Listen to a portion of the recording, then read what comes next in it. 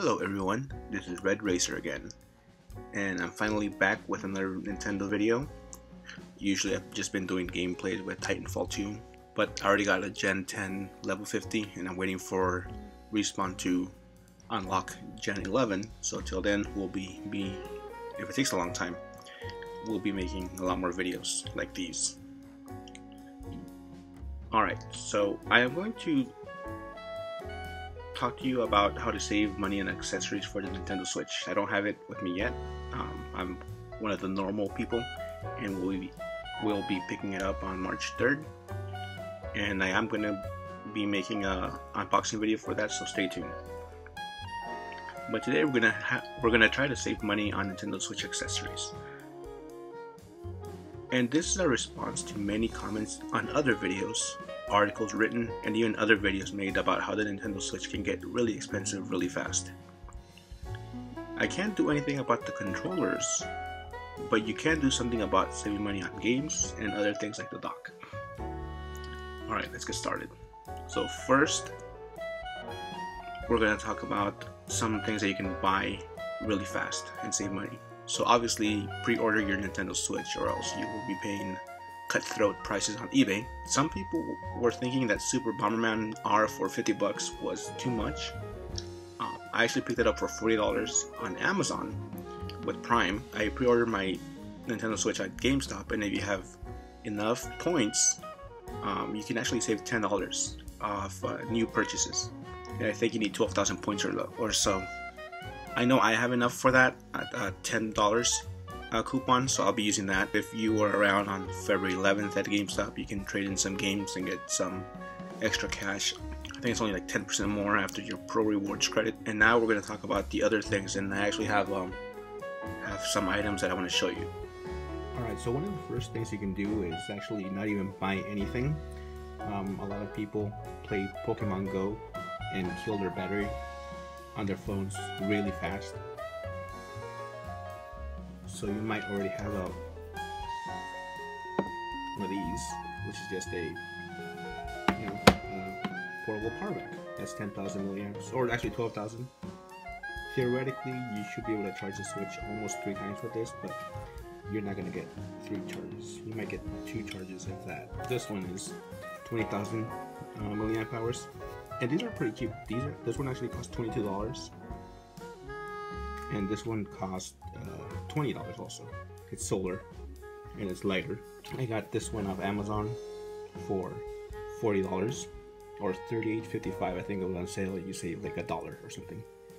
So $38.55 for that, and that's 128 gigabytes. Um, that should be enough to get you started. You can get a 64 gigabyte card for like $20 now.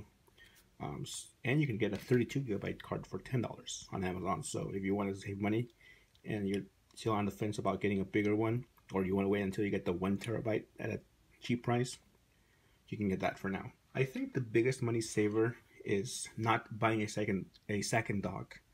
Um, I know a lot of people have maybe two TVs that they want to have. Oh, I want to buy another dock just so I can have it on my other TV. And yeah, you can do that.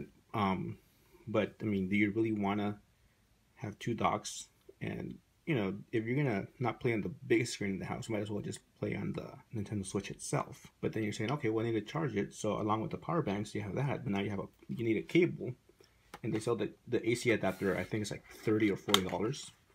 But if you go to Amazon, you can get a nice six foot USB-C cable. Um, this costs ten dollars.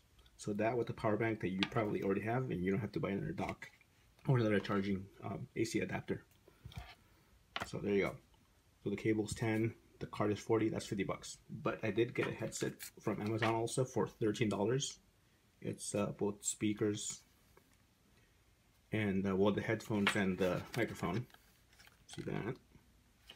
They're really comfortable actually. Um, I'll put a link in the description of the actual items that I bought here. And the good thing about this is I bought it for my PC, so that's actually USB. So it's not a head um, headphone jack. It's USB, and I think this Switch does have some USB ports, so it might work on that. I hope it does. I would like to use this one. And the last thing you guys can do to save money is, if you want to get a carrying case, you can get one that's like $20 or $30.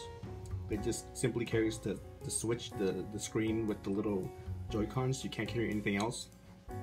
Or you can get one of the backpacks that Nintendo offers for $50. But I just got an Amazon Basics um, little carrying pouch for a. see if I can get the name. And it's a carrying pouch for they recommend for a 10 inch tablet or a 10 inch laptop, also a netbook, you know, little laptops people buy. And it's really soft and comfortable. It's really thick. It's the smallest bag I saw on Amazon that has thick padding. Anything smaller than this, and you're actually will be getting a, a sleeve. So it has some pockets there. Um, you have games or something else there. And then if you go in here, you have the little strap, which I haven't even used yet just because I just bought it and I'm waiting this for my Switch. So leave that there. And then here, one bag. There's a couple of dividers in here. In here, I guess for papers or something. I don't know. Maybe a headset. But yeah, it's very simple. It has a little bag in the front. It's very, very simple, but it, it does have very thick padding. You look at it, it's pretty thick. Put two banks together. You'll see that it's actually thicker than that. So it does provide some decent padding, I think. I can't wait to use it.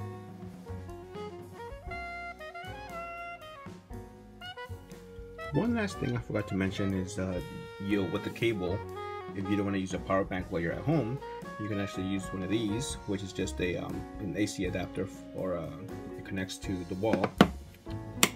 So like that.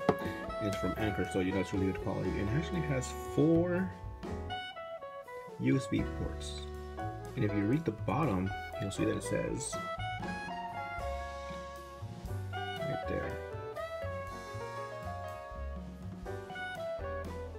it's 5 volts, 8 amps max, and it's 2.4 amps maximum per port.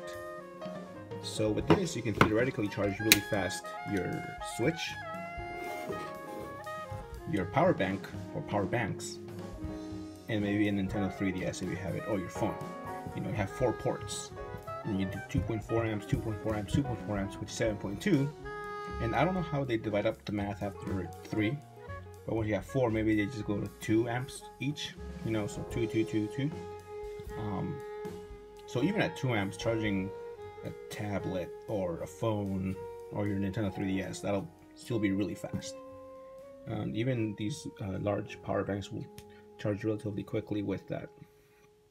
Um, my 20,000 milliamp hours uh, power bank will charge in around 12 to 13, 14 hours maybe if it's completely drained. And if I'm lucky, this one, which is 12,000, will charge within um, eight hours, eight or nine hours. So there you go. Okay, bye. This is Red Racer signing off. Thank you for watching. Please like, comment, and share. And I will catch you on my next video.